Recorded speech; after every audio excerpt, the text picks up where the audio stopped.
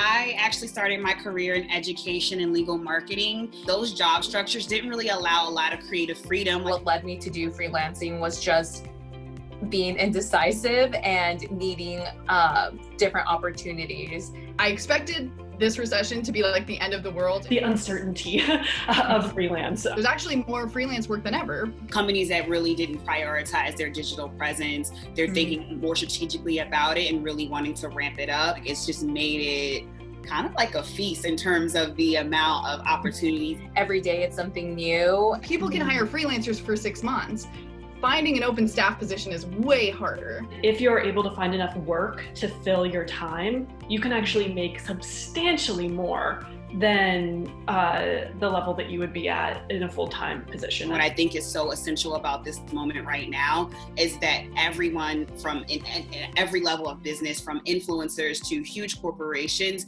they are returning to the service. So what how is what we produce in service of others? I'm hopeful that this will be a turning point where there's more centering of um, marginalized voices in the actual like production of materials. That has been an inspiring shift. Freelancing made it so that basically on the back end, I can charge a foundation enough money to subsidize my work for for black farmers. Don't underestimate what you're worth. Setting boundaries and expectations in the very beginning. It's certainly harder, I think, to stay on track and like time wise. I'm all about deadlines. Freelancing is your opportunity to do what you want, do what you care about, do what you're passionate about, do what you otherwise couldn't do in a full time job. If the work wasn't valuable to them, you wouldn't be there in the first place.